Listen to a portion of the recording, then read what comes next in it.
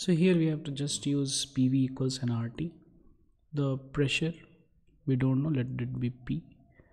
Volume the volume is 200 centimeter cube. So this will be 200 into 10 to the power minus 6 meter cube.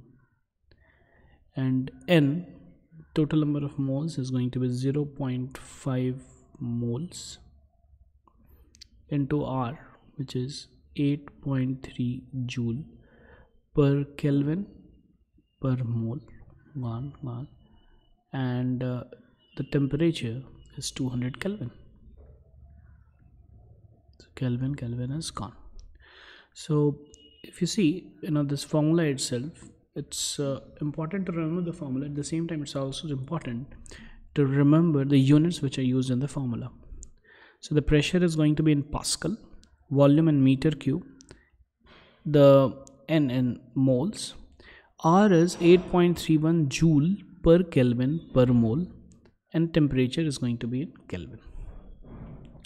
Exactly we have also written down the same uh, units.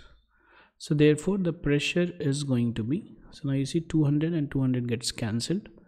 So this becomes um, 8.3 into 0.5 is 4.15 into the 10 power minus 6 goes this side this becomes 10 to the power 6 joule per meter cube. Now joule per meter cube is basically newton meter per meter cube gone gone newton per meter square which is actually pascal. So this is 4.15 into 10 to the power 6 pascals. This is the pressure.